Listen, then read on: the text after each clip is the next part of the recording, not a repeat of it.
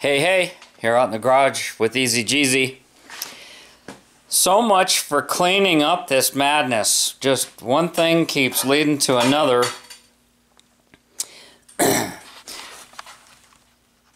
this is my 1800 engine. I want to, suddenly I'm inspired to put it in the tub buggy and go back to the test hill. What all started this is this amazing worn out 1600 dual port. Took it up there, drove it, came back home. What did I do next? I just wanted to put it in the car. That was with the stock carburetor and stock muffler and a stock 205 distributor. I got this single 40 IDF Weber. I know they work on these engines. It'll fit in the Baja, but that's not doing back-to-back testing. I tried and tried and tried to get this to fit in the car. I actually dropped it off the floor jack onto the floor. Lucky I didn't lose a toe in the process. Uh, would have been much safer to have two people in here doing it. But uh, that totally discouraged me about proceeding with this carburetor. Although I am intensely curious with the information that you guys have provided me.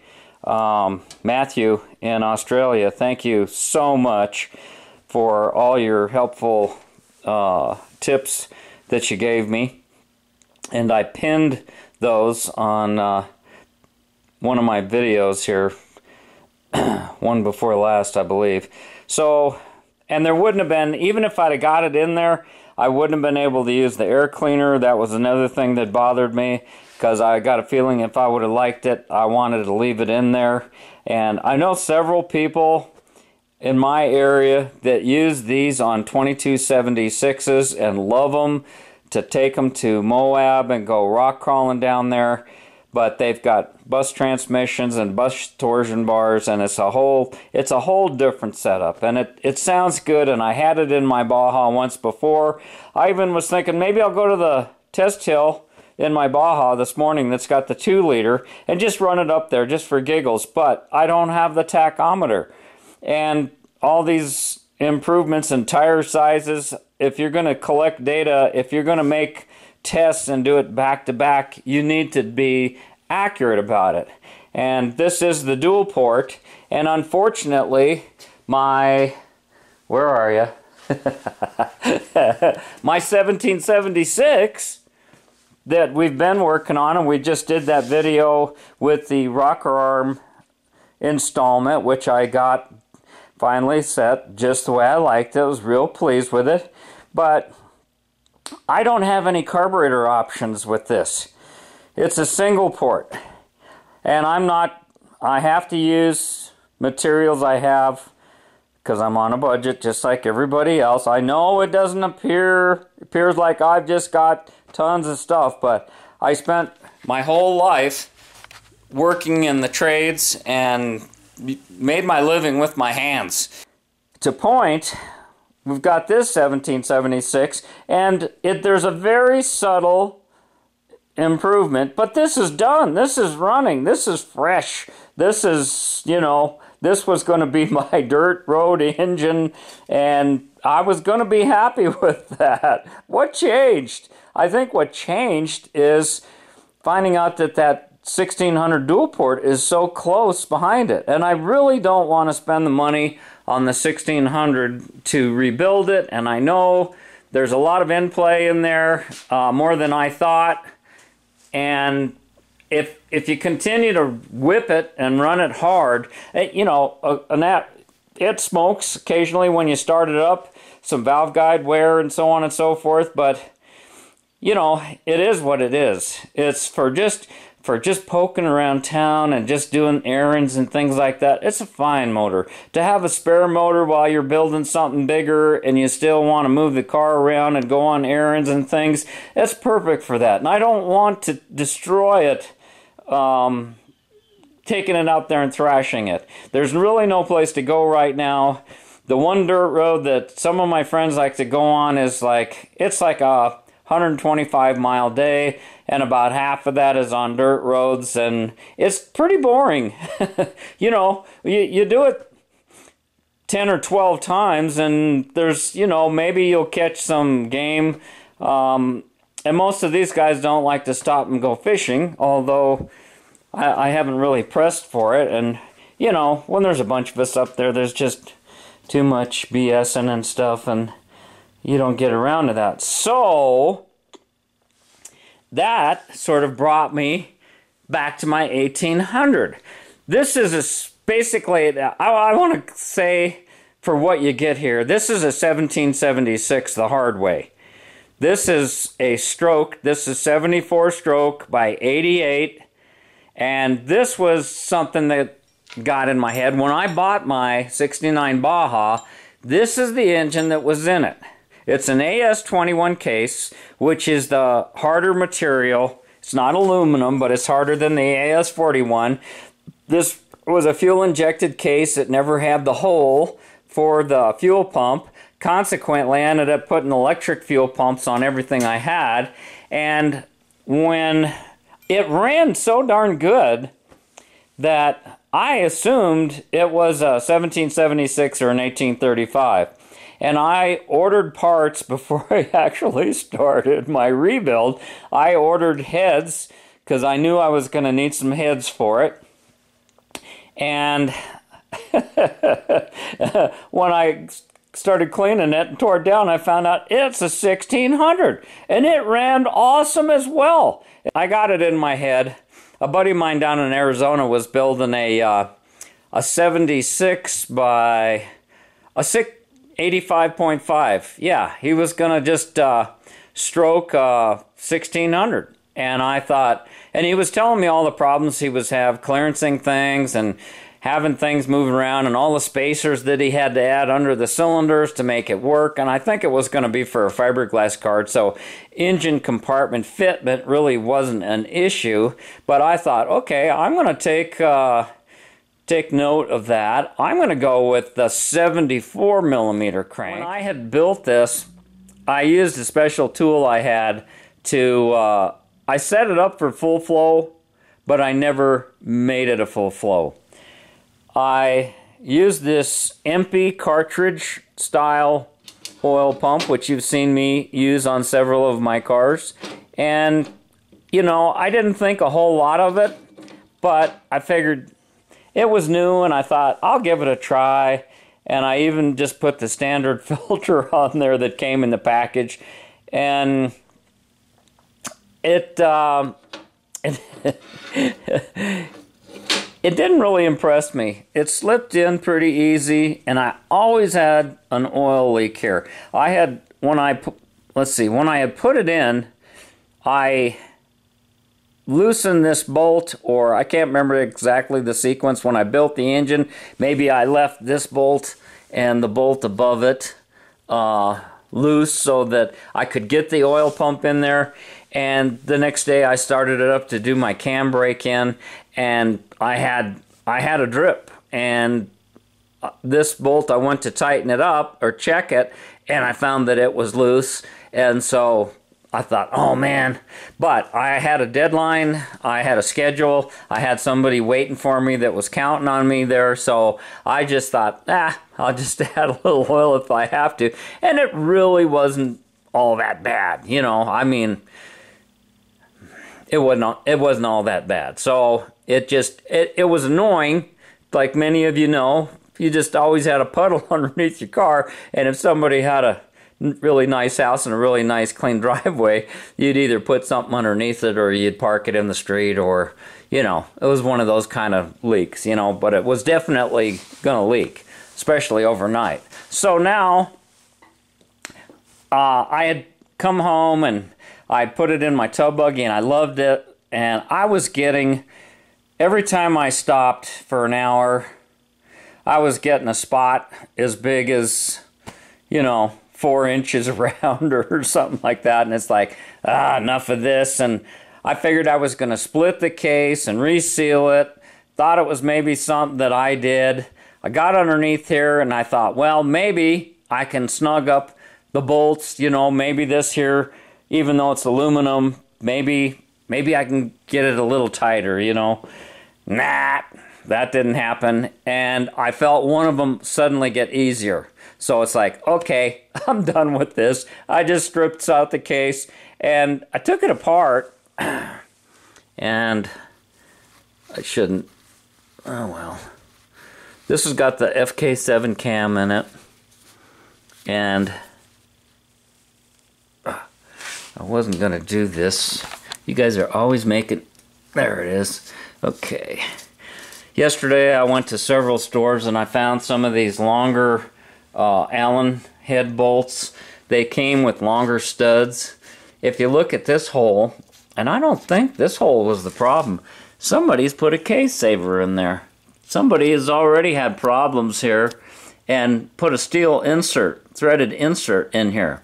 So I thought, where's that? Here's the here's the bolt that came out of there. And so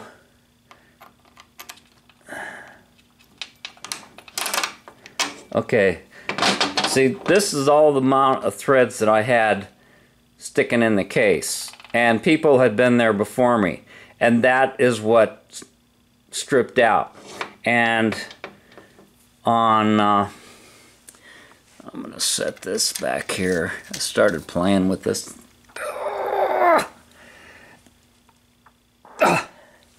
Anyhow um, this doesn't have you can't even see the threads. That would be kind of fun to show you what? Wah wah wah. Let me put a couple nuts on the end of that and uh, wrench it together.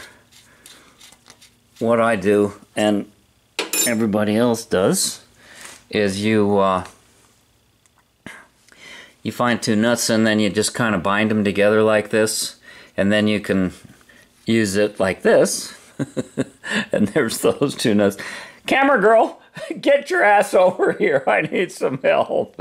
Hold this camera. Put it on the stand. Oh man, don't you love these long videos? It's like it's like going to a bad movie. I should be cleaning all this up. I had to dig that engine out from back there by the wall and I set my cherry picker up so that oh, it was and then I started on this problem and instead of cleaning as I go, I just get so focused on what I'm doing, and then it's like, okay, if I'm going to do this, I want to fix this problem. I want to fix it right, and I don't want to, you know, I can put some uh, different kinds of uh, pookie on there to uh, seal it, and I found a really interesting uh, gasket I found this uh, set. Normally, those oil gaskets are really thin, and I found this one, which is quite thick. But I only have one of them, and it's probably pretty difficult to make. And since this is a problem area and has been for several people, apparently, um, so I'm just going to set this up here like so. I need one of those nuts.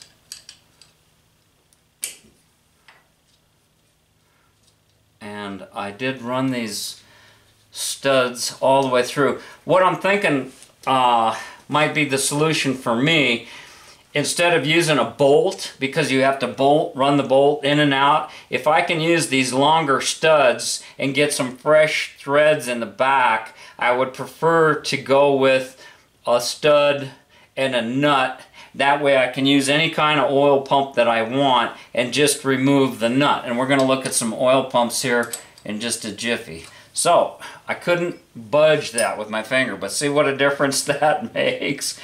Oh, it's so much easier. Sometimes it just gets a little snug. And so, I think it's important to share this because, you know, I thought in the back of my mind, I was going to get a brand new case. I had to have this case cut, but because it was an AS21 and the engine really did run pretty sweet, I, I didn't want to do that. Now, I want to fire that camera, girl. okay, I want you to look here. Now, it looks like compare it to one of, to this one down here. Both of these. Now this is the insert. I couldn't even see any threads in the beginning. See how you can do you notice up here you can see the the threads start right away. The first, you know, quite a ways in there. There's nothing. See? There's nothing. Right the end of my fingernail out. But I ran this stud, or one of these longer ones. Some of these are out of transmission. See, I don't throw anything away without stripping it completely. And when you go to the the uh, uh, the hardware store to buy a stud, they you know they don't have them in the right length, and now they're made so poorly. And I had to go with these, but then you get in a situation if you get the longer uh, bolt then you have to start being careful that, see this would, this would give me a heck of a lot more threads. And I just want to make sure that I don't come through the other side. But one of the places that you'll have leaks is right here at the head of the bolt. When you get these engines hot and you're using oil, oil is amazing how it tries to uh, get out of wherever it can and that's where you're going to get your drips and indeed there might be a problem with where the case is here and once you bro have broken that case seal you can't put anything you can't gob anything on the top of something and get it to seal that's just not going to happen i'm sorry now uh, so I started looking at my oil pumps here. What have I got for, I get out my box and I've got all these oil pumps that I've collected over the year, extra parts and pieces. I've got some, these, uh, these, Melling makes probably one of the finest oil pumps around and they're, they make them for all different types of cars. These are cast steel or something and they are just tough and they are well-made pumps. The problem being is that the expansion rate is not going to be consistent. The factory pump was aluminum, the case is aluminum, and like other places on the engine, they use steel nuts and bolts, but that's how they kept it from leaking. And as you all know, after they get old, you're going to have leaks. I mean, I've got all these these end covers that uh, were the stock ones that I took off for you know, they're probably okay. I, I just thought they were ugly and I was after something a little nicer and I wanted to have the pump. And so I found this was a, a pretty good candidate. Um, and I had plugged, this is an old pump, and I had plugged the end of it. You see how this one got clearanced itself on the cam bolt? That's what was rubbing on the back of that, the cam bolt. So either either it wasn't clearance properly to begin with, and you've got different kinds of gaskets. Um, I've got uh, this one here is very interesting to me, but I don't remember the history of it. That's why I should tag things. This thing it doesn't have a name like Schadek or MP or anything else. I'm sure it's just an aftermarket. And it looks like I've done some massaging in the holes to uh, make it a little bit more smooth. I have a tendency to do that on things. But the thing I liked on this one is it has guide pins and it has an O-ring between the halves. Now you'll note on a stock one, they use this hole and slot over here. And what guys will do, you get this gasket, if you look at it, see there's a little hole between each one. This is the gasket that goes between the back of the pump and and then you got your steel cover over it and guys will uh, slather that up with uh, sealer and put that on it's not it's the worst thing you can do if the pump is flat and the plate is flat this little groove, if if oil starts escaping away, this is the suction side of the pump. And so that any oil, it would migrate over here and get sucked back into the inside of the pump. And you'll note also that uh, the factory outlet of the pump, go, it's a straight shot. It doesn't, you've got pressure on the side coming out here in this whole this whole thing. This side's the suction side, this side's the discharge side. And there's different things. I've made videos on particular pump things. Now, when you see wear on the this is an this is aluminum. Okay? So both sides of this is aluminum. Oh, here is something else I wanted to show you. Now, these this is good to show you. Ha ha ha. This is real good. Okay I think that's a stock 26 and here's a uh, this is the one for the big pump look how much bigger that gear is okay now the reason they're giving you that big gear is to make more pressure for higher RPM as well as the fact that instead of coming out the end and going up into the case it's going down here through the pump uh, through the filter, has to come back, and then it's got to make it through this little hole just to get back to the original place that the factory started from. And so the bigger gear is going to create more pressure and help. Now, this is a relief valve.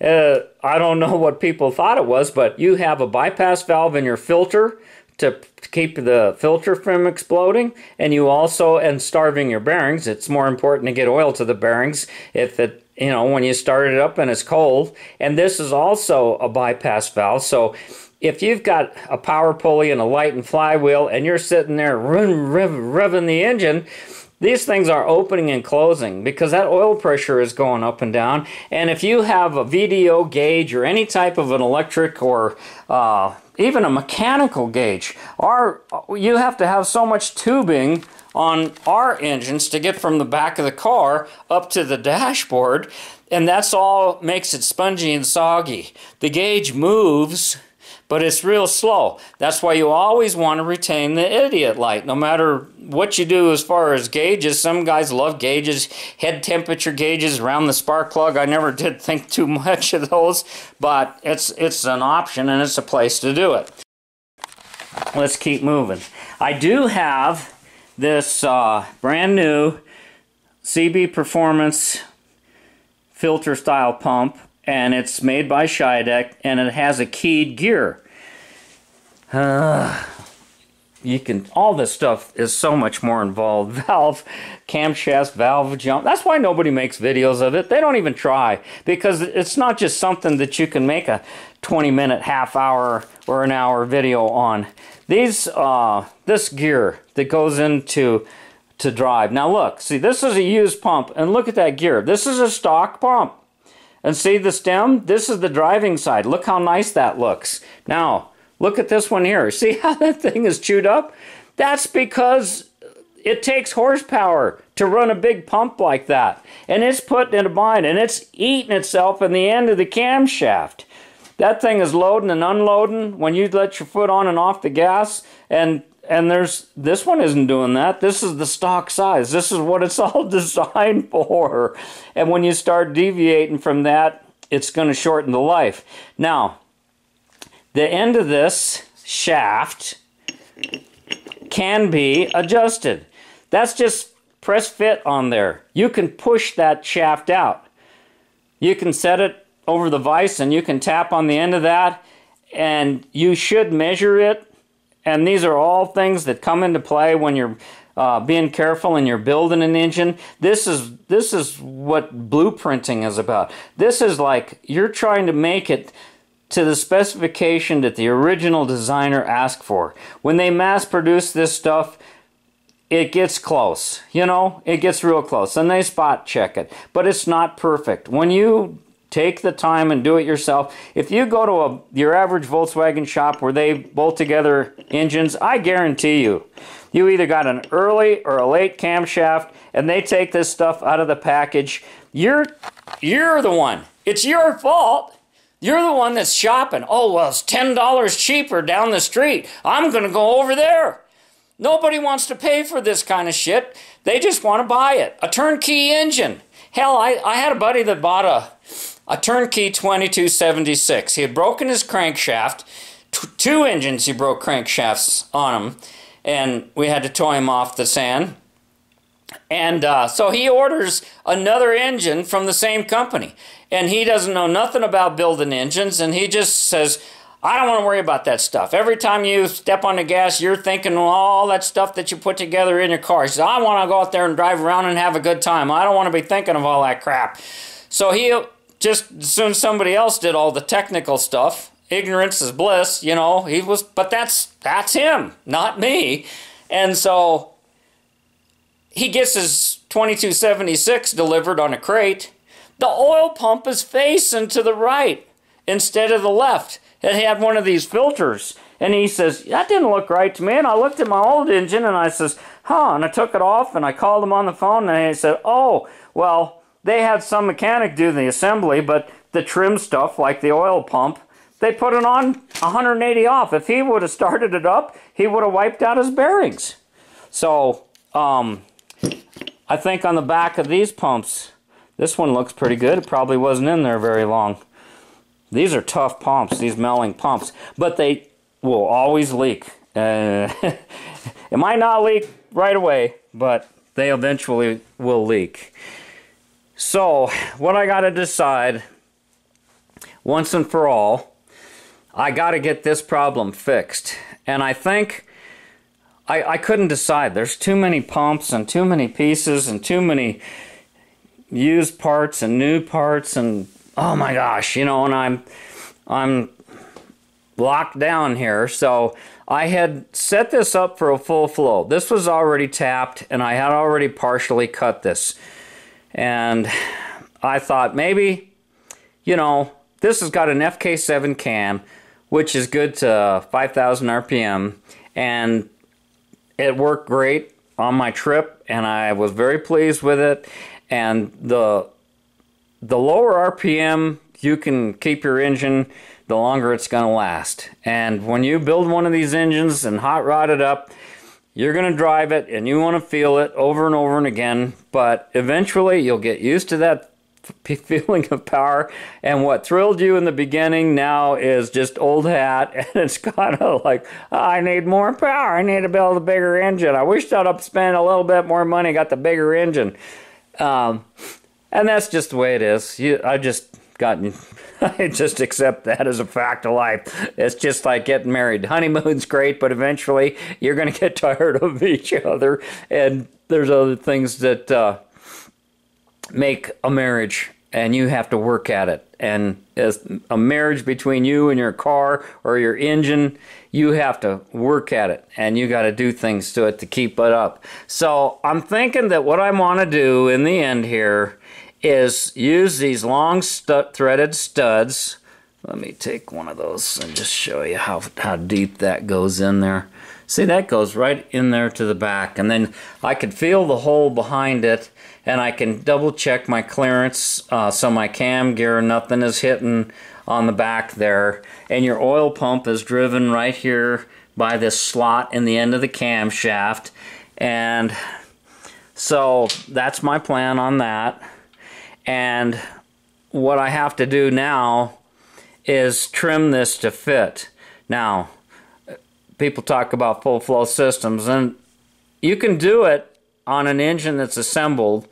I did this on the drill press, but I I was I used this pump. I knew I was going to use that pump, and I'm not so sure I want to use that pump because I have a different exhaust uh, in mind, and I've been using that hose setup with the filter attached to my exhaust on the Baja for so long and that works as well.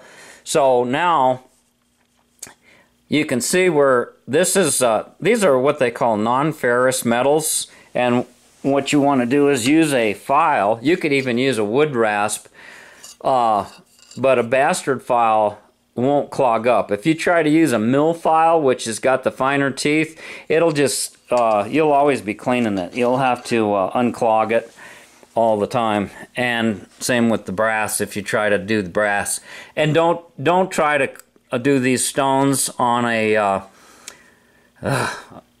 my brain goes faster than my mouth sometimes. The don't try to grind this down on your bench grinder because it'll just plug up the stones. You can clean it out with the proper tool, but it's just so now and the here's herein lies some of the problem is that I'm left-handed. I'm, I'm not left-handed. I'm trying to put this in. Okay, it's where the thread starts. So you have to take down some of this fitting in order to get it to rotate. So you you can get pretty close. This was a hole that was drilled and plugged here. This is an oil galley. Okay? If you hit that, you're done. You're done. I don't know who if they weld the back of these cases, maybe somebody could patch it. So what I'm doing it's a matter of trial and error because it's so close. And I'm taking this plug and I'm putting it in here. There's a little bit of that magnesium dust on there, which is not very good. I've got some compressed air and some carb cleaner, and I'm trying to keep it out of the inside of the engine. And uh, this is all magnesium dust that I'm getting off of that. That's fun, especially when it's dust like that. You can light it with a, uh, a torch fairly easy. Now, what I need is a nice fresh paper towel and I'm going to put this in here to kind of hide all that. And I didn't want this magnesium dust getting into oh man there's just nothing there at the beginning. But I think if I can wow. Look how loose that is. I mean that's just horrible. So I got to get in deep before I get some meat. And I'm going to use that thicker gasket. so I want to plug up these holes with my studs or bolts. It doesn't make any difference. Just, just want to get them plugged up. Might as well use a stud here.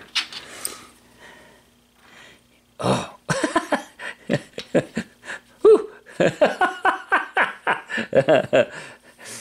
I ain't going to say what you just saw, but you might have to back it up, see what I almost did. And you want to make sure that you've got your suction side of the pump here uh, covered up. And all I'm doing, I'm doing this by hand. Nothing the matter with doing stuff by hand. A good hand job is always uh, acceptable. Don't say it. Get your mind out of the gutter. So what I'm doing is I'm just taking this bastard file and I'm just putting pressure on it, a lot of pressure with my thumb. and I'm going to spend the morning taking this down. And it's, if you don't have the patience to do this, I'll tell you, you start getting in there with power tools and you start taking it off, now, some bozo's going to say, ah, you don't want to use power tools, you'll catch your case on fire. I've seen them where people were grinding three feet away on a bench on a piece of metal and they saw some engine blocks in the background. Said, oh, you'll catch it on fire. Oh, you'll... Man, we used to take these cases and throw them in the fire all the time. It takes a long time and a lot of heat to get these things going. That ain't going to happen right away. But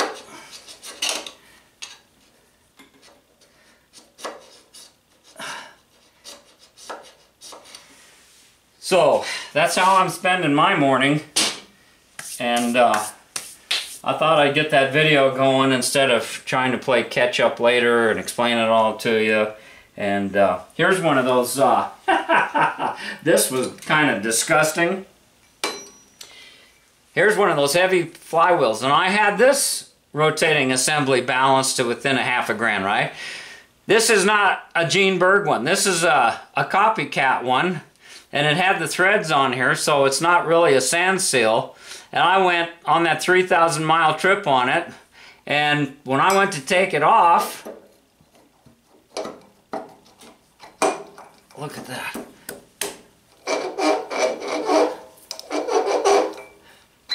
it just came off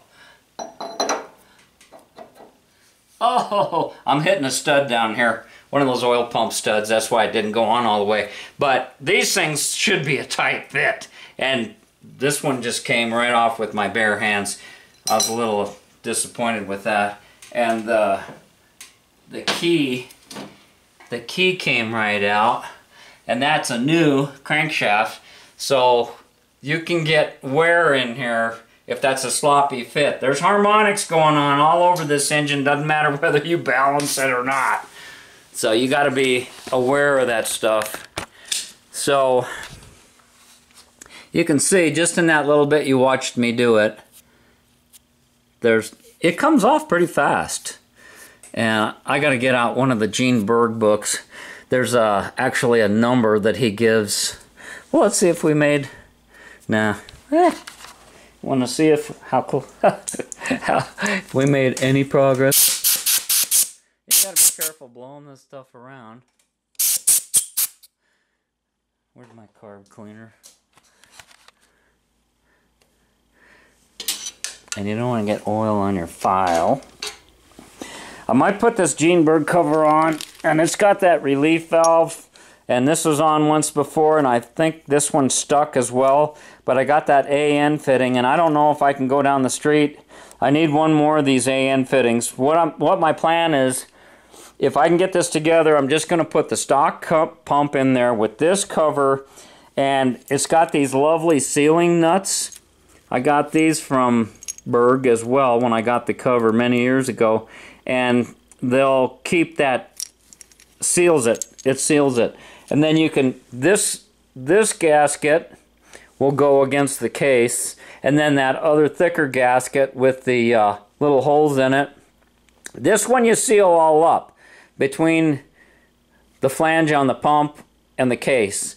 But that outer one I put on dry and I was thinking about either using this green one I may have a. It might not even be the pump. There might be. It might be the case or something else that's going on here because obviously somebody's done some repair work in here and they had the Melling pump was on it and it was a mess. So it, when you get used stuff, you're just kind of figuring out somebody else's puzzle, you know. And then I thought, if I can get this on there and get that AN fitting in there, then what I'll do is just take this uh, this fit on the buggy and hung from that rail. And I use these AN fittings with the, uh, like a union with the, with the nut on it. Did I already put those away? Yeah, I've got some caps that I can take the hose off and I got a blind cap that I can screw on an AN8 blind cap so that the oil doesn't leak out and dirt doesn't get in there. And then I can just take this filter assembly and put it on this engine. And I'm just anxious as hell. Since this one is a, like, we'll call it the 1776 stroker because basically that's what it is. It's an 1800. But I'll tell you, for a little differences, there was, ah, this is all just boggling my mind. I thought that, I thought, that's what it is when you got nothing to compare it to. I thought that other single port 1776 here, I thought I was I was happy. I was content until I was perfectly happy. I drove that all summer long. It started, it idled. I never had to do any maintenance to it. I didn't have to do anything to the timing, the points, the, the valves. I checked them. They never needed adjusting. It just ran and it idled, and I was happy until I put that damn thing in there, and that's 1600 thing. Those must be some trick heads. There's more to, I'm learning all the time.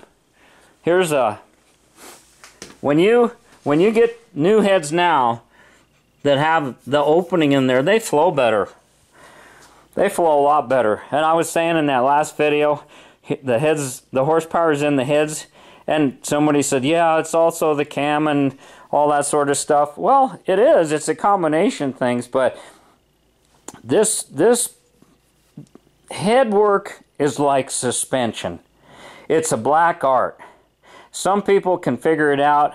In the old days, they used to do it by hand, and the critical thing was to make each cylinder the same, and you know, nowadays they got these five axis CNC machines that they can duplicate, duplicate, duplicate, and, and it just takes a lot of that handwork.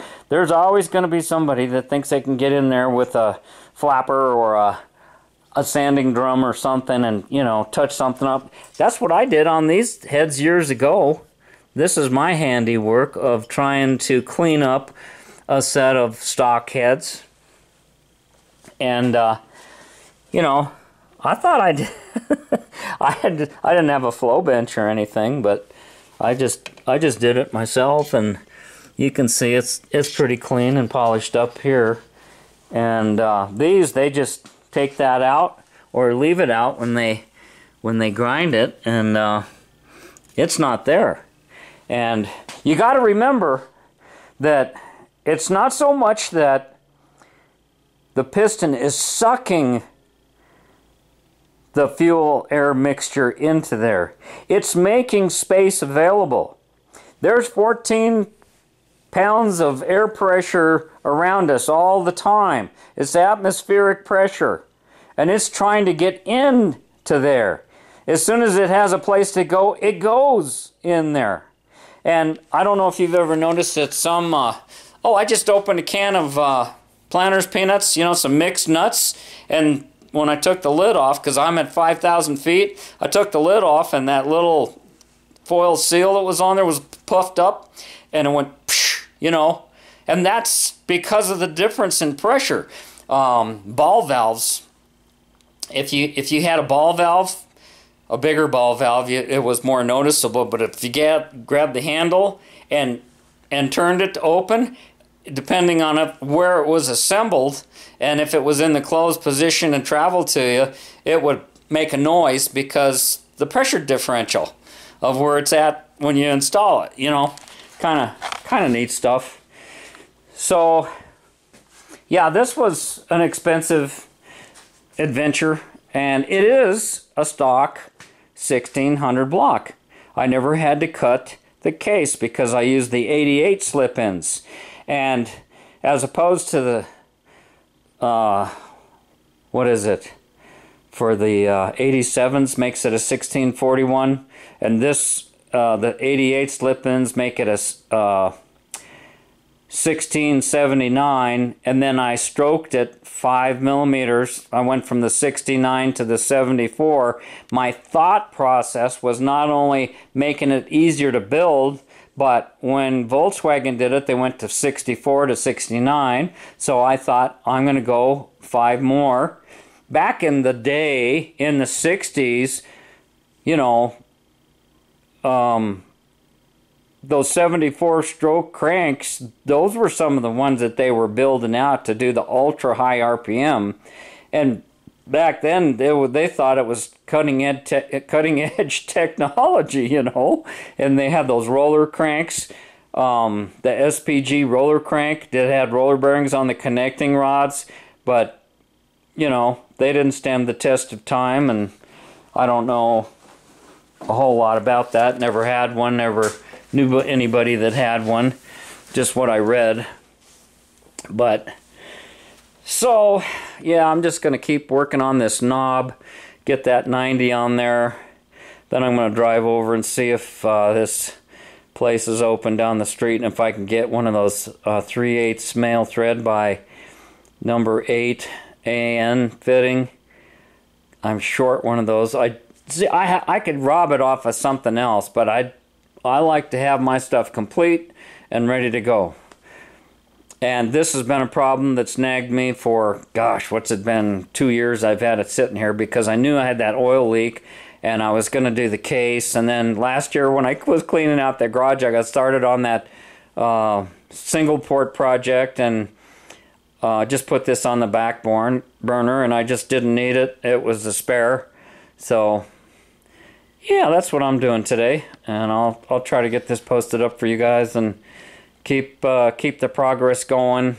And see, this one's already got 36 Dell'Ortos on it, and it's got uh, the nice thing about that FK7 cam is you can run it with the stock 1.11 ratio rockers, and it's about the same as a cheater cam. It's about the same as the stock cam we have now in the uh, in this engine and we put the 1.25s on the intakes, but that's a split duration cam. The FK7 and all of the Engle cams that I know of, the duration of the intake and exhaust is the same. It's cheaper to make it that way, and I don't understand that, but that's what the, they say. If you go to Webcam and CB Performance and some of these other sites, and Engle might have something out now too, but the more modern design is to have the split duration cam um, and it depends on where you want your power. It's always going to be cheaper just to buy a cam and lifters and stick it in. You know, 125 bucks, it's a done deal. You're down the road and your car runs and you got what you got. And you're probably not going to look back. The only thing with these ratio rockers is uh, you can get a little bit more lift. There's room. You run out of room in the case. When you start going to those um, 86 stroke counterweighted crankshafts, you start getting some clearance issues between the counterweights and the camshaft. And so to keep the cam lobes shorter, they go with the ratio rocker cams, and it's easier on the bottom end, uh, the, the lifters. The lifters and the cam will take less abuse because if you put in like the Engle 110, everything's happening at the cam lobe and the lifter. And you're extending the 325, 30 thousandths of lift on an intake valve to 400, a hundred thousandths. And all of that action is taken on the cam. That cam won't last no 100,000 miles. I don't care how often you change the oil. I've wore out a couple of them it's not just the abuse that environment that we're in, but it's it's just there's there's too much going on. Even if you got zinc in your oil, you can run Brad Penn or whatever Amsoil, Z Rod, whatever you want to put in there. But you know, eventually those things are gonna they're not gonna last as long as the stock or a ratio rocker can. Now, the thing I like about the ratio rocker is that on this one, I was going to go on a long trip. I didn't want to have problems. I wanted the engine temps to stay down, and I just ran the stock rockers. When I got home, I put the, uh, oh yeah, just thought of something else for you. Oh, say that's why my videos are the way they are. It's just I'm all over the map all the time, and and trying to make these darn videos, and I see things these are, oh, where's my flashlight? Everything just so handy. See right there? This got that symbol on the, the three rings, four These are 1.25 ratio rockers. And they're, well, I'll show them to you. We'll take them off. You can actually see it on this one here. Look at this end. See this intake valve right here with the, the lights on? See how the rod looks like it's not centered in the socket? That's intentional. They did that intentional. That's how they're getting the extra ratio going from 1.1 to 1.25. If you look at, uh, they're all that way. See, they look like they're getting ready to pop out. yeah. So I don't have to take it off. And these are solid rockers. Oh, and these are the Magnum 44 heads. Yeah, from CB Performance. That's what that CB, I forgot. These are the heads that were on my uh, 2110. They were 90.5, so uh, I put the new ones on the 2110, and I um, moved these uh, on the 1800. So this thing, I'm hoping will have a significant more pull. Now the question remains, is it going to be at 2000 RPM? So I'm going to try it with just like it sits. I just got to get the oil pump set up and get it in the car. And uh, I, I thought I was daydreaming. Me? Daydreaming? I was toying with the idea of putting the stock rockers on here and putting the stock 34 pick 3 carburetor on here with that SVDA 205 distributor. And I noticed, guys, that uh, I don't know if you shop at uh, CP1, what is that? CIP1, California Imports. Um, they just have in stock the 205 SVDA. And I think I'm going to get me one. I'm going to need a few other things here. I think I'd like to have a spare oil pump uh, on hand 26 millimeter so I think to 5000 RPM is pushing it for the stock oil pump but I don't propose I'm I'm depending on how quick it revs um, and what my gear ratio is in my transmission if you're running the tall tires and heavy tires you know you need the big engine to you know accelerate quickly. I really don't need to accelerate that quickly, so, and I'm not going to be, it, it's just pointless to just be always revving at uh, red line. Although, like I've said, possibly I've said before, I noticed these little engines, the stock engines, 1600 and my 1776 single port, you work them a lot harder than you do a bigger engine because to get up into the horsepower and torque range that's at higher RPM. And you just, it, the way the transmission's geared and the weight of the car, using the red lines on the speedometer, it that's a great way of, of uh, you know, taking advantage of a car and just driving it to its what it was designed for. Then you put a, a more powerful engine in and you'll be going past those marks. And then if you're like it, you might want to put a tachometer in there, but you know, other than passing somebody or racing a friend or showing off, it uh, you ain't gonna be doing that all the time. You'll do it just to see if you can, but then at at some point you just realize you start breaking stuff, then you'll back off start breaking the bank. All right, I got to get to work here, guys, and uh, sorry so much talking and not really demonstrating stuff, but uh, well, sure miss that camera girl. I miss my girlfriend too. Hey!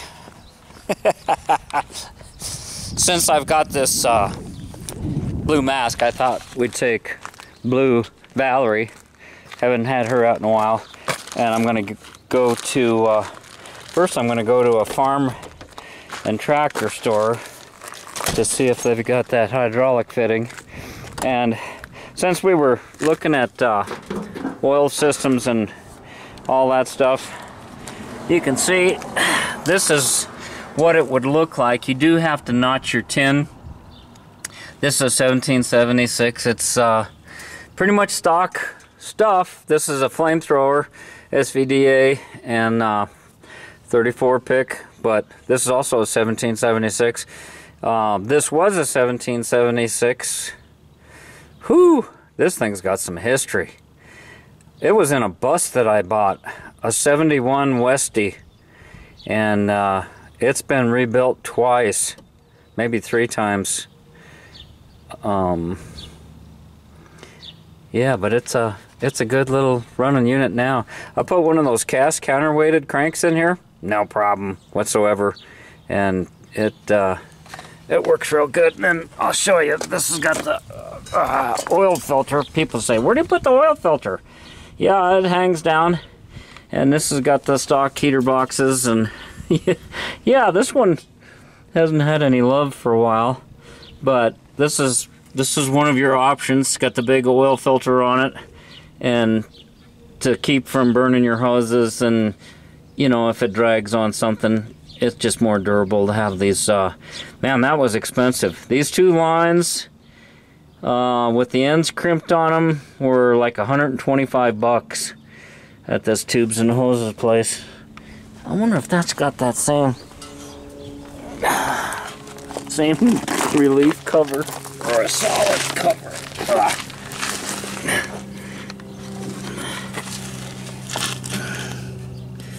Well, that's got that little bypass too. I don't know what size oil pump is on this one. Generally speaking, I wouldn't think with a 26 millimeter oil pump you need that little relief deal. And especially something that's, if you're turning over, oh, I don't know, I'm just gonna shoot my mouth off, take a stab. Say, if you're gonna be going over 6,000 RPM every now and then, maybe, maybe you should think about putting a 30 millimeter pump in there for the higher RPM. Now remember, a race engine or a high RPM engine is going to be built to the looser standards. You still want to try to stay in spec, but you don't want all your connecting rod clearances and everything within a thousandth of an inch, you know. You want to give that, it's going to have, it's going to be wiggling and shaking. So, uh, you want to, uh, you need more oil. There's going to be oil going through there. This got the choke on it and all that garbage. She's a good old girl.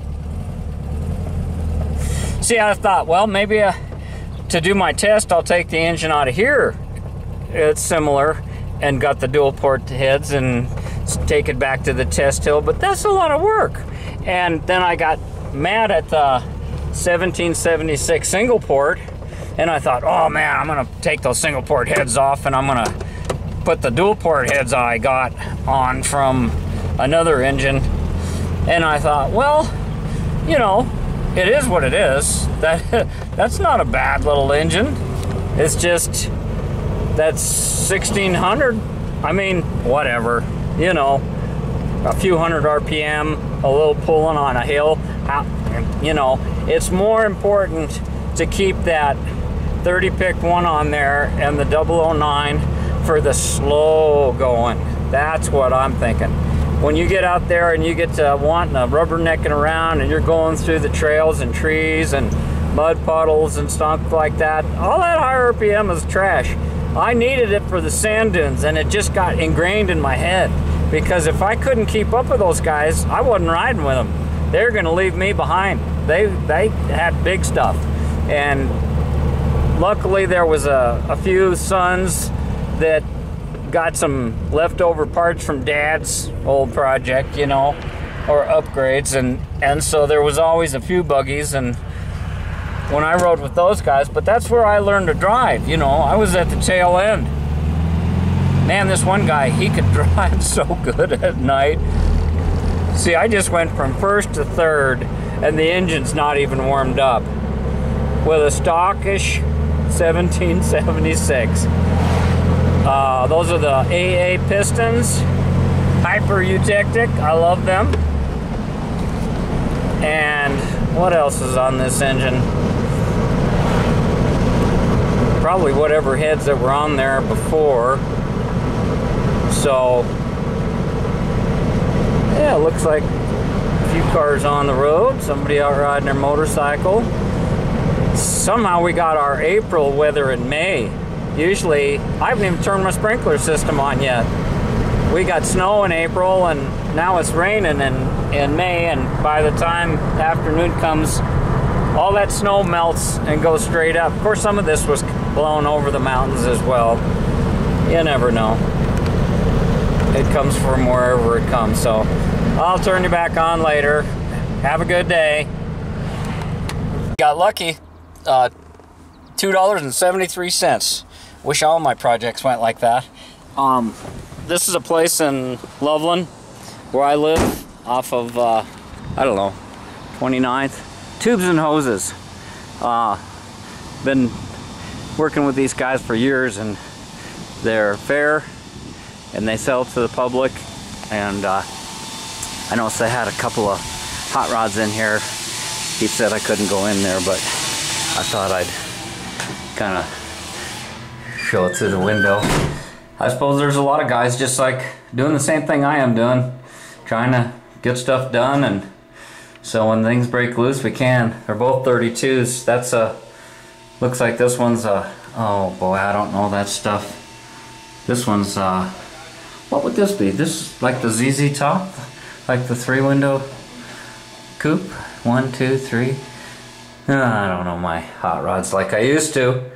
And then another one over there looks like more like a sedan. The long one. I always like the little little ones, but I like the coupes. I never never have been a Roadster fan. Um, I am owned a 1930 Model A pickup, and my intention was to make it into a hot rod.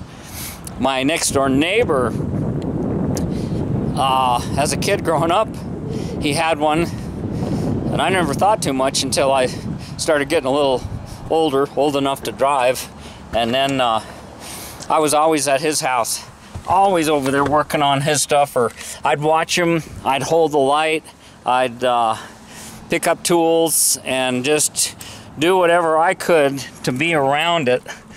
He had, uh, he was in his 30s and had uh, two boys, but they were like babies, and and I, my parents used to call me all the time. They always had to look for me.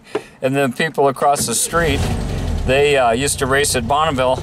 They had a 29 Ford Roadster that uh, the father, it was his car when he was a boy in high school. And he had kept it all those years. And oh man, I remember we took, uh, we, he liked Chryslers. He was a Chrysler nut. Chrysler Hemis and stuff like that. The old, he had a 56 300B with dual quads on this Hemi, and uh, I remember uh, we we brought home this a LaSalle, a big long funky car with the big wing tail lights, uh, a late 50s LaSalle from a junkyard, and he wanted the engine and transmission out of it, and he put it in that. Uh, yeah, I think he put that in the frame that was on the, the Model A frame, probably. Don't quote me on that, I was pretty young. But I just was able to see these crazy things take place that my father wouldn't. He bought a new car and he took care of it and he didn't he didn't wrench on it unnecessarily and he took it to somebody when it needed something. So we didn't do a lot of car work at home, but my neighbors did, and I loved it. so, anyhow, sorry, babbling. Okay, the 1600 dual port, what I'm going to be doing is breaking it here at these hoses, putting some caps on there, and I have duplicated this all on the other machine it's expensive and a pain in the neck to come up with all these fittings and this is uh, 1300 psi hydraulic hose and I've used uh, power steering um, pump hose as well. And uh, yeah that that worked. I'm hoping that I'm going to get a little bit better flow. Because it seems to me on this 1800 by the time I got back from that trip while I was on my trip I went ahead and put that uh, VDO oil pressure gauge in and made a video on that and it's helped a lot of people. But uh, what I've done now here's the fitting I bought and then I've got the the end cover and it's got the relief in it. I That's not really going to be an issue, but evidently I thought enough of those at the time. I must have three or four of these things and I'll be able to use the good sealing nuts. Now, I I was able to get my clearance here just enough and as this goes in it's a tapered thread so it's it gets deeper it, it it's a you just got to be patient. Got to be patient. So now, the next thing I want to check, this is the pump I'm going to use. It's a stock 26 millimeter pump. I'm not going to be flogging this engine. This is a fairly fresh engine. The only issue it has was that it had this horrible uh, leak and I'm going to reuse this pump. It's not a Schadek but it's the only one I have here today and I'm not so sure what's where this leak is coming from because obviously somebody else has had problems here before and they have stripped the bolts out in an attempt to you know just keep tightening. Once you got an oil leak established, it's pretty tough just to tighten, unless you got a, a big cork gasket or something compressible there, but they get old and hot and baked and once you got a leak, don't keep tightening stuff. There's a specific torque for those bolts, and that's what you should use. Oh, it's on my sheet someplace. Now, this oil pump has already gotten the, the EZGZ massage. You can see, if you have an oil pump, you'll see. I hogged it out. And this is supposed to improve the volume but it makes it really hard to put out. See how I've I've taken out I've got videos on this probably this actual pump right here and this side remains the same but you just angle it over you make it as free flowing as you can and then I've plugged the outlet with a brass plug and it, it looks ugly but this side is is nice and smooth and and that's what you want and what the devil is that hole for? What is this hole for? That's not supposed to be there.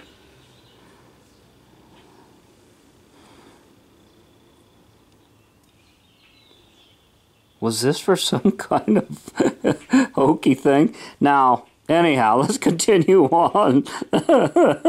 uh, it's going in. This is your bearing surface, and then you've got the post, which is your bearing support for the other gear. And I've got to clean this out with carb cleaner before I attach it, but I just thought we'd have another final look at it and some things that you can check. You take a feeler gauge and you oh you don't want to drop stuff on the floor like this. Camera girl, Oh.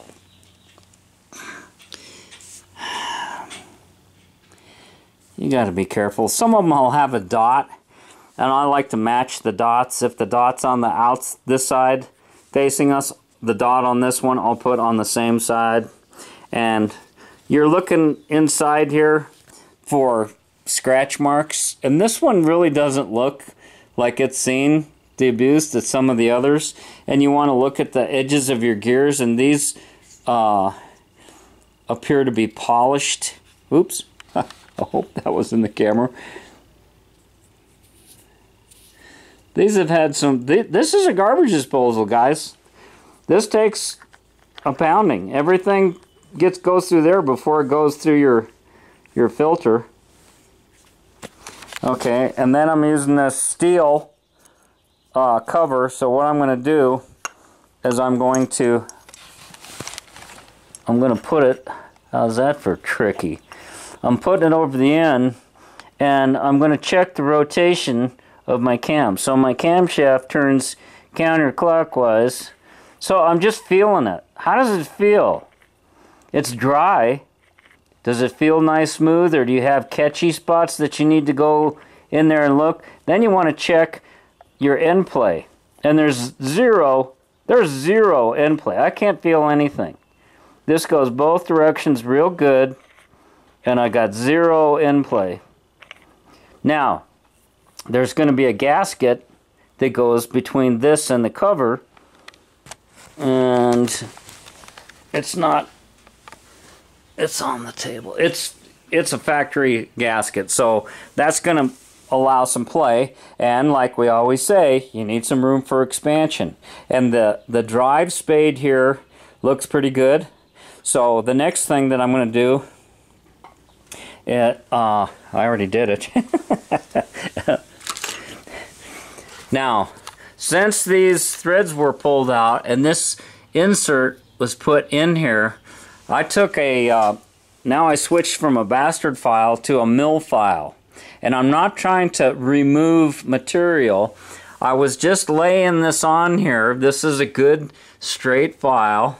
And I was just laying it on here flat and just putting a little pressure in the very center with my thumb and just kind of moving it around. And by doing that, I wanted to see if there was any high spots. And sure enough, and, th and this can happen just from the factory threading process, but it, you can see the shiny spots there where this was raised out. And whoever did this one did a good job.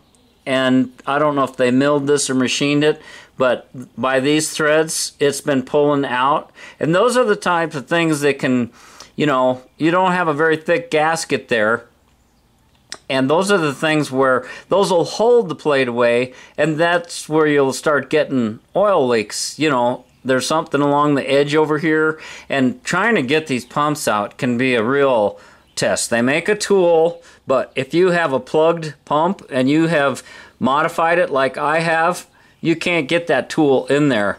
And there's you just have to look for whatever spots you can to pry, but you don't want to stick screwdrivers in there and really jam things up. And you want to make sure you, you've got all the uh, excess gasket material from the old gaskets and stuff off of there. I don't know, you know, you look at everything. There's some discoloration. Um, you just, you know, look it over really good. You can see about how much room I had between the core and you know, you, you got to work on the fitting too. So take that down. And I'm to put, uh, I put this in dry and this is just brand new, but I want to make it identical to that other setup so that I can use those hoses over here.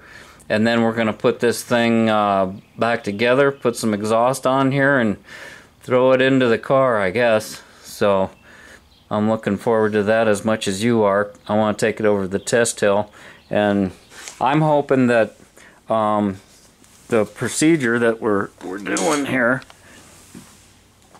I have to look if there's, uh, well, maybe I can see. Oh, this has got one of those trick pickup tubes.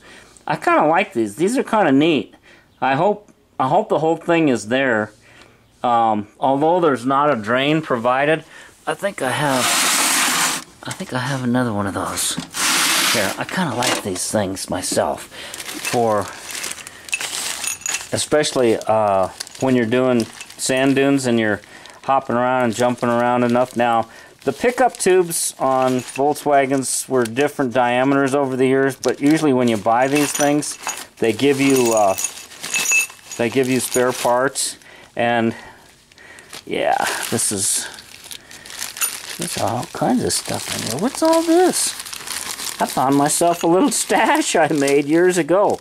Anyhow, what you can do is remove that screen. There's just a little snap ring here.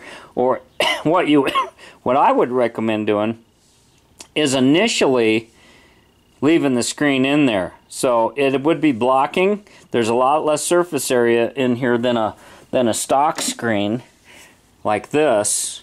These things have they do a lot better job than people give them credit for. And especially if you use a magnetic plug at the bottom. At night, things have a tendency to settle and then swish back and forth. And you just don't want to be picking particles up that are laying down. When you're going off-road and things, it's a, it's a hurricane in there for sure. But this has an O-ring, two O-rings on the inside. I don't see the tube. I thought I saw a tube in here. They'll give you a couple different uh, tubes. And this is not the right one. I don't know what that's from. I bet it's in the engine. I haven't seen one of these in a while. Um, but I like them. And so this way, the idea is you're sucking. And these little knobs on the side prevent it from slipping down and, and going off the block and the flow. It'll it'll sit in there and then it can it'll hang. It'll come down only so far and then it'll touch. And this is kind of like a lower sump. Now you're going to suck things up. If you're doing ultra high rpm if you're hitting 5000 and up regularly you may want to take the screen out. Um, I was running a dry sump oil system in my sand rail and I have the whole setup for that. I was just looking at it today. And I used to run one of these with the screen out.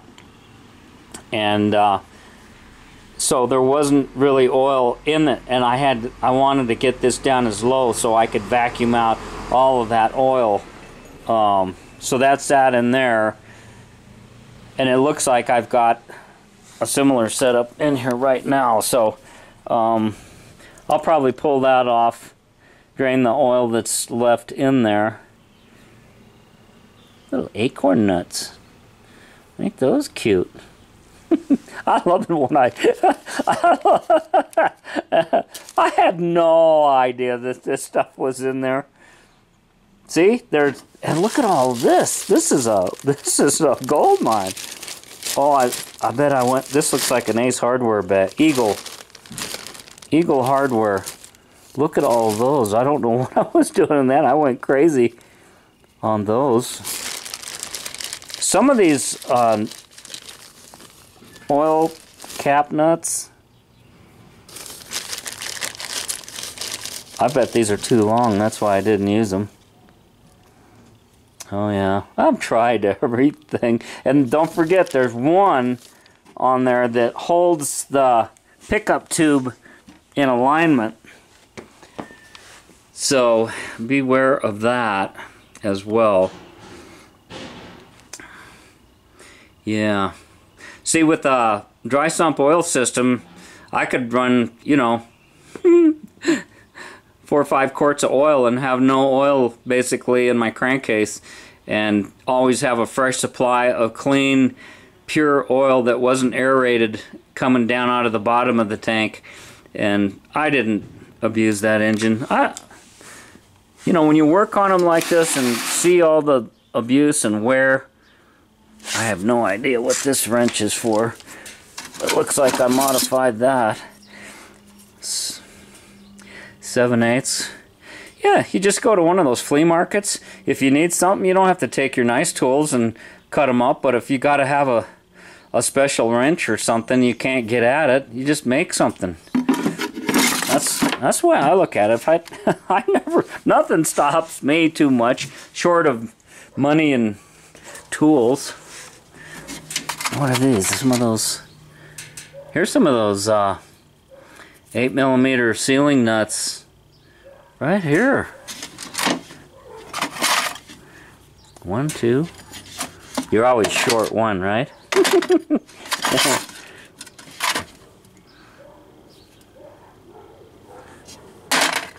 See?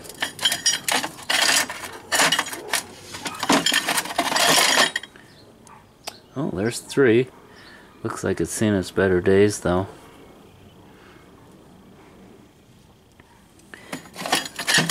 One more. I think I see it. There it is. four. One, two, three, four. Ha! Yeah. Oh boy.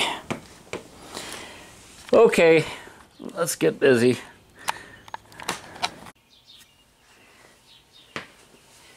Okay guys, not trying to hide anything from you. Uh, I just didn't bother with the camera.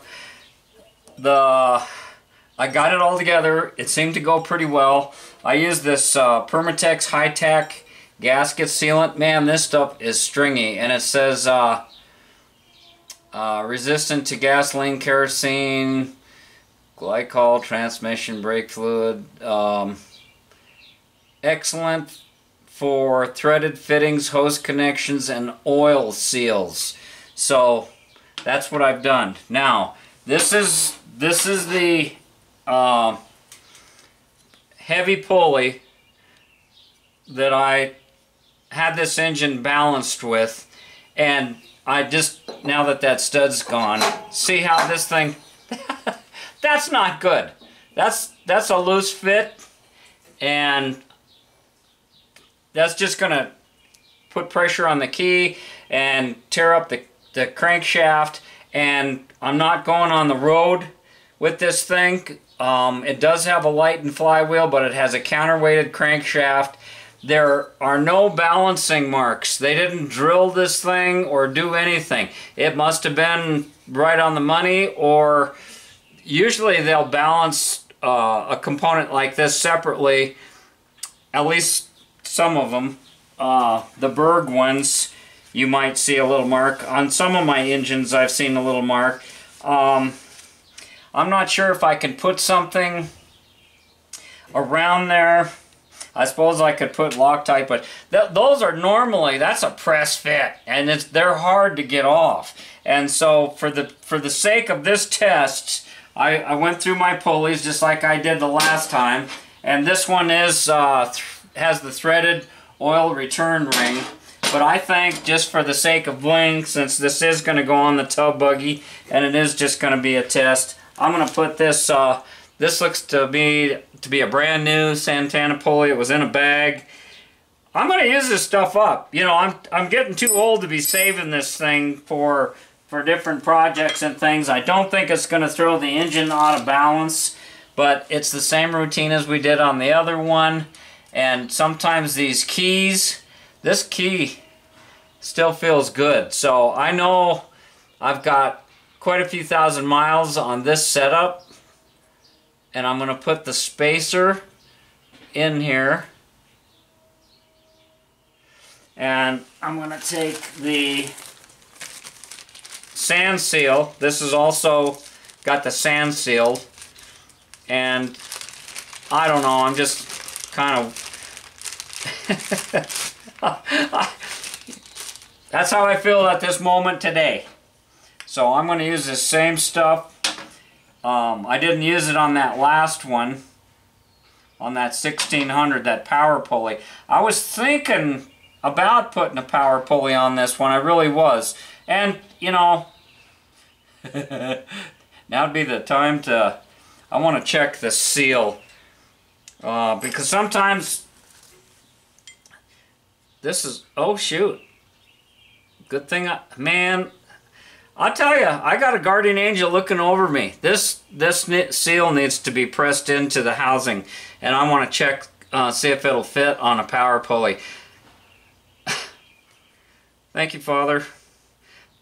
Oh, and uh, that lower left stud with the uh, insert that was in there, that was not perfectly straight.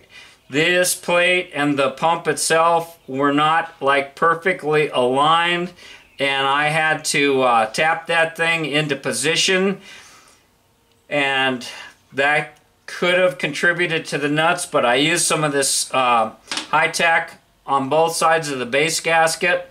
Nothing on the outside gasket so that it can suck in and I'm hoping this heavy cast uh, Berg style pulley I tightened this and checked that. So uh, yeah, I gotta I gotta put that in. It, it's I, I'll just tap it in, but I want to see if uh, it'll how it fits on a power pulley as well. Matter of fact, I can probably tap. Wonder why that. Oh, it doesn't even. I was, huh. It's a tight fit, so that's a good thing. If you want to seal oil. All right. I went over to the drill press table and I just set it face down because that's a flat surface and I just tapped this in and uh, yeah that came out real nice and it'll fit um, it fits nice fit on the power pulley as well as uh, the full-size pulley. So if I want to change it back and forth, I can do that. And now I'm going to put a little of this tacky tacky. Boy, this stuff, it's red and it is so stringy. Man, is it stringy.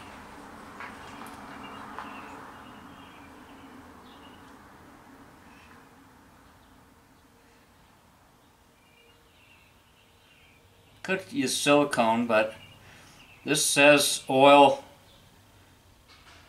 Uh, I don't have any of the gasket cinch. I can't remember if I bought this for something particular. Now we've got the key in, got the spacer in.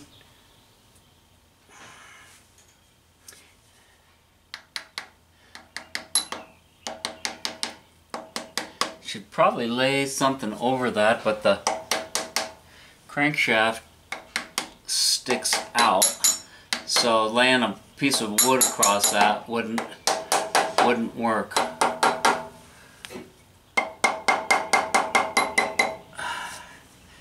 So I probably should have put some grease on the inside of that.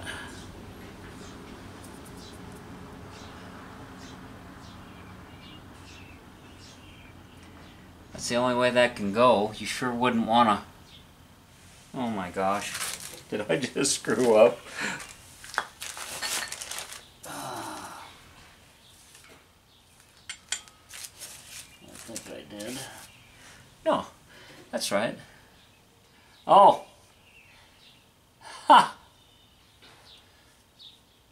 Yeah, the way that's hollow. Yeah, I definitely should have uh, put a little oil on that or some grease. I got some uh, I got some Q-tips right here.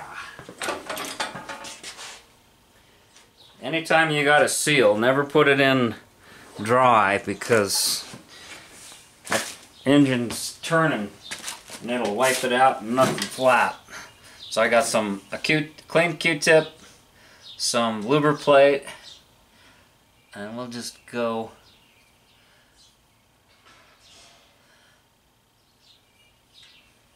clear around that baby. I tell you, there's been so many opportunities for screw ups here.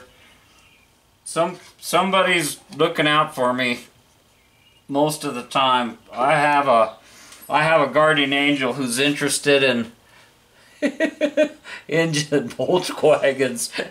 Maybe I got a German or a, a guardian angel or something. Cause uh, I don't know. Yeah, I'm just so so tickled. Yeah. So, I don't have a a belt for the power pulley, so I guess we'll uh, we'll just start with. Uh, I'm gonna just no. That's this is all gonna get pushed back and just go everywhere, but I don't know.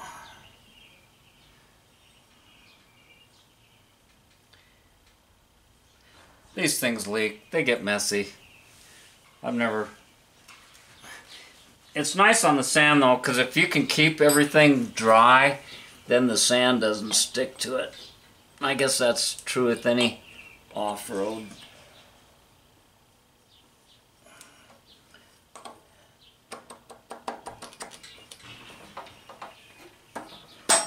There we go. Now, I can see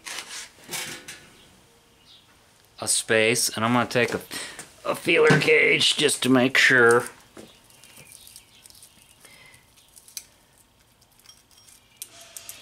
Yeah, that's metal to metal.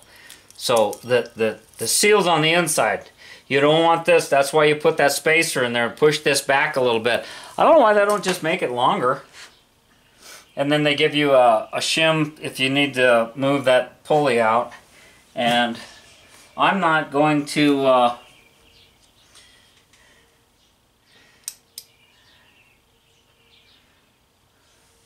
I'm not going to Loctite this till I get a better feel for it because if I can find one of those uh, smaller power pulleys I might I might just put that on. Boy that didn't that didn't seem like very many threads, did it? Let's see if it tightens up. It better not tighten up.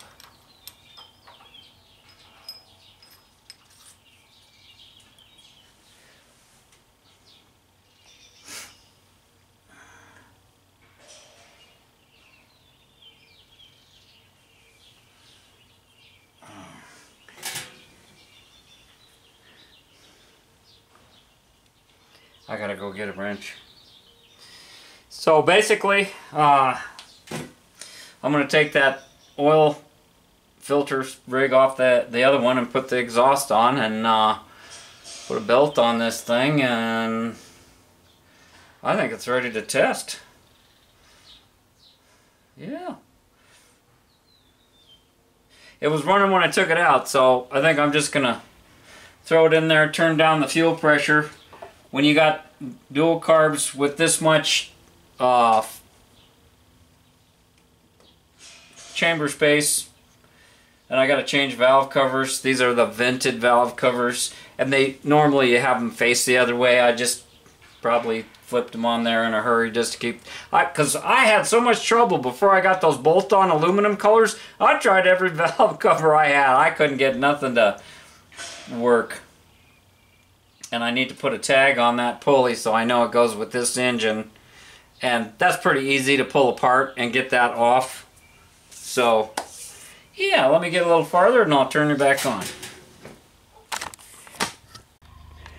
That was weird. My camera just kind of went dead. I don't know what happened. Okay, um, so this has got uh, a 74 counterweighted chromoly crankshaft, a chromoly lightened flywheel, all this balanced, and I thought we would just check the in play on it. There's zero.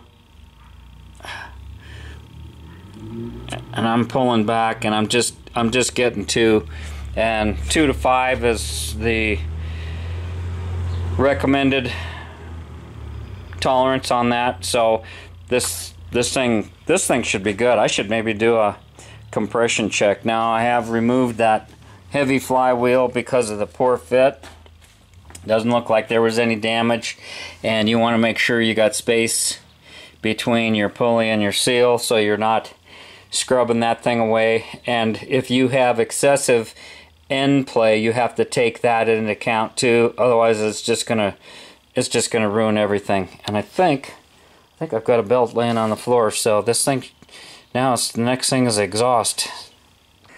I've been asked more than once how I move these engines around by myself and get in these doggone predicaments, and sometimes I do.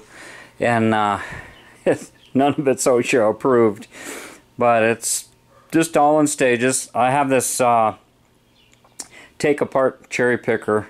I made that entire thing when I was a senior in high school.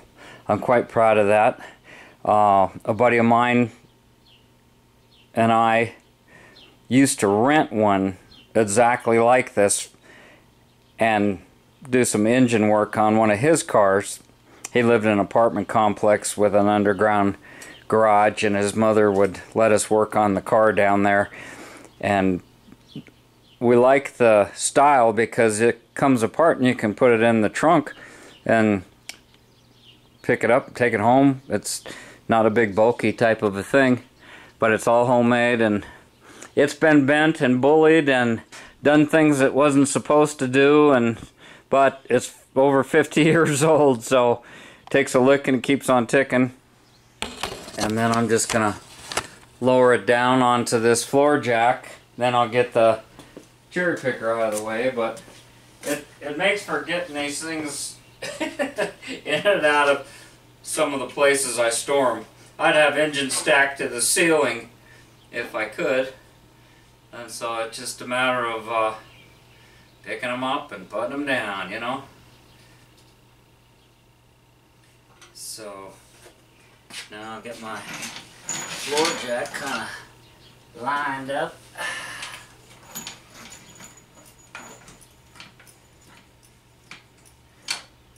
And this one's got a, uh, I don't remember some of the, it's been a couple years since it's been in the cart, but I noticed it's got, it was running when I took it out. The only issue I had was it leaked a lot of oil, so it has a Kennedy Stage 1 on it, which that could be a good thing or a bad thing, depending on how you look at it. And this is one of those situations. Well, battery went dead, but I didn't quite go dead. Look at that. There's actually progress here while the battery was charging. And it's Friday evening, and I think we're going to be guaranteed, now that I got the engine in there, probably a three day torrential downpour. But I definitely want to get this thing out and just feel what it's going to do. Uh, I thought I'd put the megaphone exhaust with the little tractor flapper on it. I think there's a baffle in that. And I'm just letting it drain completely out because I want to clean the bottom of that with some something carb cleaner or whatever and I want to try this high-tack. I know the studs are going to be down there and I'm going to hate myself for it, but this was a drippy mess, and it did indeed have one of those uh, red anodized slip slide pickups, and it fit down in this neat little tray here. So, yeah, look at all that garbage hanging down in there. So, I'm going to do an oil change before I fire it up. You can see that little device and you need the dropped little tray here for that to all fit into and give you that little lower sump. But the whole idea, you don't want to use this unless you're running a full flow oil system. Because you are going to suck everything right off the bottom. And this one does not have the screen in it. It's already been broken in. It's already got several thousand miles on it. And I just wanted to freshen up the oil. Uh, looks like one or two of the studs came out. So I want to see, hopefully this oil pump isn't going to leave leak and this is all going to go well. But I got this exhaust on it and it's a little higher instead of using the J tubes that come underneath. It's got the little higher type exhaust and it's not extremely large diameter but it are, is the Magnum uh, 40 by 35 head and I did put a power pulley on it and I went to O'Reilly's and I gave them the package that the other power pulley belt came in and it took them like 20 minutes before they came up with it what did I do? I was throwing that stuff in here. This is the the one I got from CB Performance. Uh, Continentals 10 by 865 and I put this on the counter and I says okay I need another one of these. And it took them a half hour to come up with this Master Pro V-belt 3 eighths by 34 and an eighth and it was all wadded up in there. So we'll see how that works. And I'm using a chrome pulley and it is the the notched serrated belt. I kind of like those. I think they grip pretty good. So I'm kind of hopeful. I got to scrounge around in the attic find that uh, exhaust baffle. It's going to be a little bit louder. And I need a fuel line to connect one carburetor to the other. I think it's gonna work out guys. So my only thought is it takes an extremely long time to upload videos from my house here. I, I, it takes it takes 12 hours to sometimes load up a video and you guys seem to be watching these longer videos with all the little details. Uh, I ran up to Walmart, grabbed some oil, and I'm just going to run this Valvoline synthetic blend 10W30 uh, say what you want, think what you want. I, I will add a zinc supplement uh, to that. What is that brand? I might as well put it out here before I forget. That way. You should add this stuff, Zinc Plus, the Lucas. Yeah, I like Lucas products. I think they have some good stuff and I have to move my oil filter and hoses from this engine over to this engine. I've got nothing there. So that'll go in the refill. And man, hopefully this will do a lot more than that other one. Oh, I need to uh, need to come up with something different than this, and I need valve cover gaskets and different valve covers. I don't think I need to vent it from the valve covers on the sand dunes. We used to use the vented valve covers, but we put the vent on the front side because it was uphill when you were screaming, and that's when you're going to get the blow by. I just, I don't know, it was up against the wall. I threw those on there, and I'm going to have to, uh, I'm not going to rob the aluminum valve covers. I'll probably, I went through this stuff here and found some different gaskets and some new copper crush washers for the drain here and we're not going to get crazy or do anything extreme but hopefully this is going to work out okay. And if it doesn't we'll just have to deal with it and address it. So this should uh, it's all fun. Notice how see how the fiberglass is cut for the dual carburetors it helps me when I install the engine. It helps me on these Dellorto carburetors because the idle jet access, you have to go through the top instead of the side. And these this whole setup was working good. I want to go to the test hill and I want to kick ass. I don't want to see no 200 RPM improvement. I want this thing to go off the charts. And I can't do it in the Baja and deal with the weather because I don't have a tachometer in this thing and the car is a different weight. So if we're going to do back-to-back -back testing and make some comparisons, we're going to have to use the same vehicle with the same tires, same gear ratio. It's the only fair way to do it, and I am not happy right now. I tell you, I haven't been happy with this whole thing all week. The idea of building a fresh 1776 torque monster single port and being deceived. Of course, this carburetor was on it, and I explained in the other video that I can't get it in here by myself. I tried and tried and tried, even with the air cleaner off, and I dropped the engine. It actually fell off the floor jack. Lucky my foot wasn't underneath there. And it's like, this ain't going to happen with me doing this by myself. And so it's best to avoid it. I want to try this engine because I need I need an uplift here. I need some motivation. And hopefully this is gonna do it for me. And I hope it's gonna be more than just a little subtle change. And it may not. It may not. This has got the FK7 cam with the 1.25 ratio rockers instead of the 1.4 you can use either one and or none and it works great. I think that's a great option. It's a lot more expense to doing it that way, but it was a choice that uh, was suggested to me, and I decided to try it, and I'm happy with it. And I was seemingly happy with the way this thing was running. I don't think these air cleaners are worth a hoot on long dirt roads. Even, I'll, I'll put the outerwears over the cotton and then I'll put the foam over that.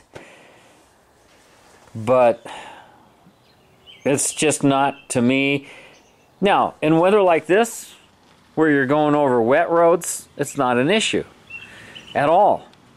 But I don't really, this is going to sound hypocritical and a real conundrum, but the only reason I'm doing all of this stuff is because I'm in jail. And once we get a get out of jail free card,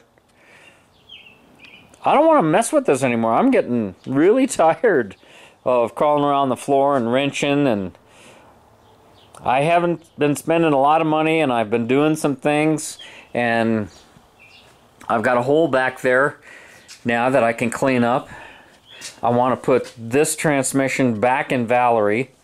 This is a 412 and I've got a 437 in Valerie right now. And it's got some ring and pinion wear to it. I can hear it. And this is just a taller geared transmission. Doesn't really make any difference one way or the other, truthfully. But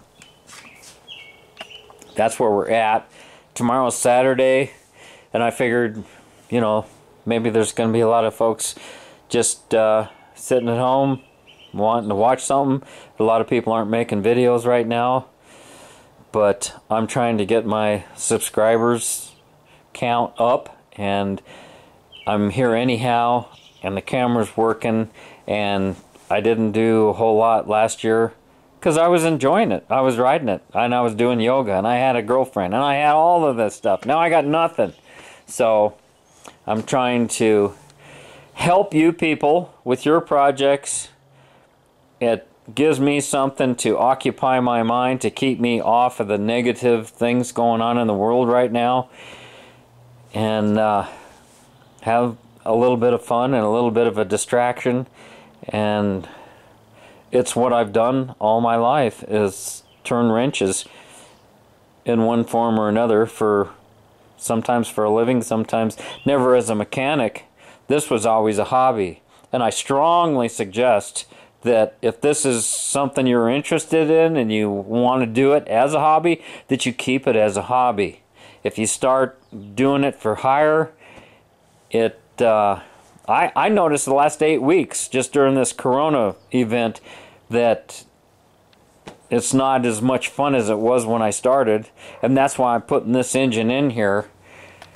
I don't have the money to spend on this engine, guys. It, I'd like to. It's I'm just I'm thrilled and fascinated that a 1600 did this well. you know what I think it'd be fun is to once I get this test done with this engine the way it is, is to put this exhaust system on it and the stock, th that distributor, and this PIC 34 carb with the one-to-one -one rockers, that should calm it down.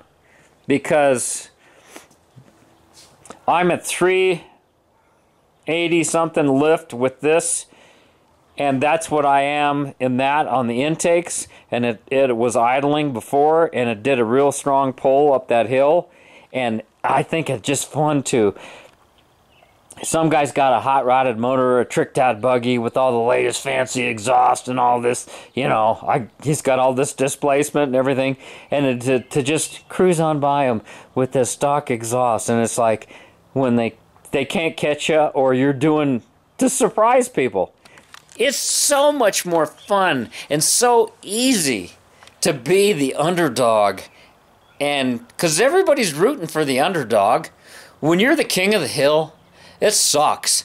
It sucks. And it takes a lot to stay up there, and people expect you to prove it all the time and show off. Let me see what that thing will do. Yeah, yeah, yeah. Well, my brother in law's cousin's sister's boyfriend's got a, well, a witchamajigger Volkswagen, and that'll light up the tires for 17 blocks.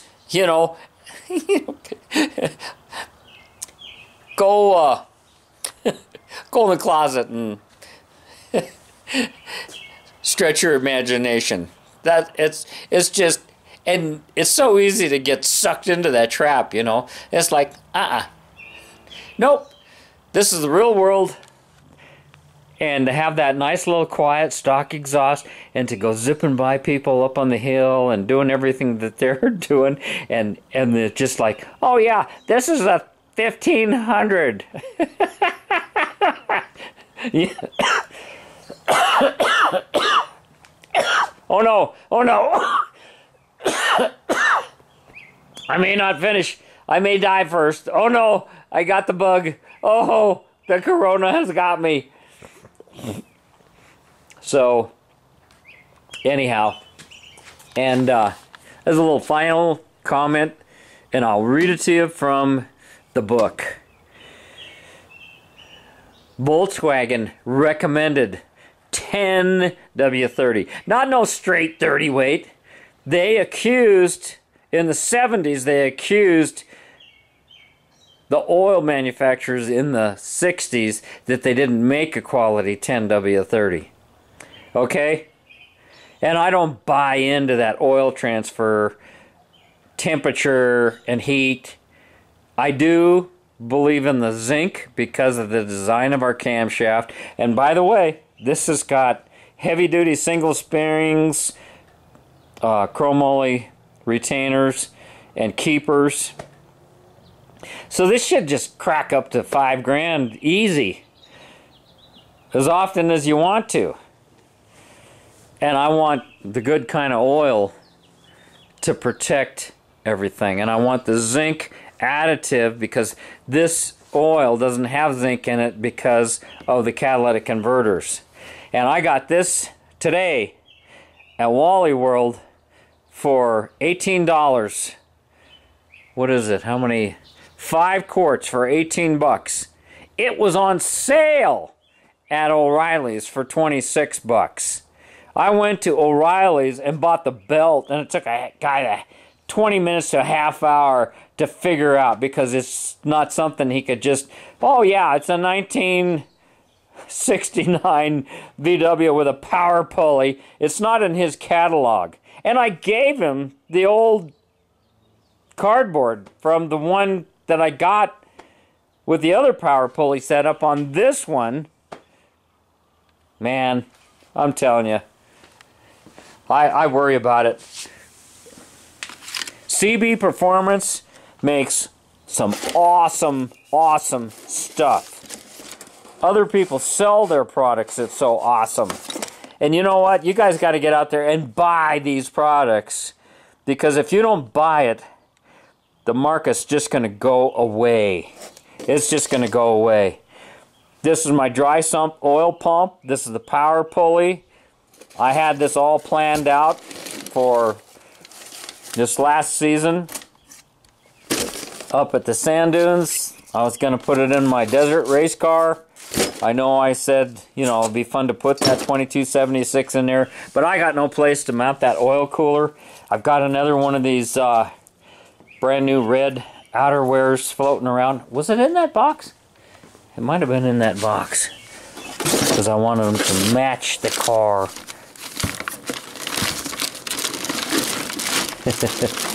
and these are the uni. You can probably make something, but I kind of like the ones that you buy. I thought I had. There's another one floating around here, so I can cover them up and they'll they'll match. There they are. Ha ha! Ha ha! I love outerwears. And this is another awesome company. Now the black ones I had had a reinforced top. These don't seem, this might have been older ones. I don't know. But spend some money. Have some fun. Get out there and work on your projects. And we'll call this a wrap. And hopefully on the next one, I'll have a smile on my face and I'll be saying how this thing just screamed up that hill and I had to let off the throttle and pop the chute. Thanks for watching. Thanks for subbing. EZGZ out.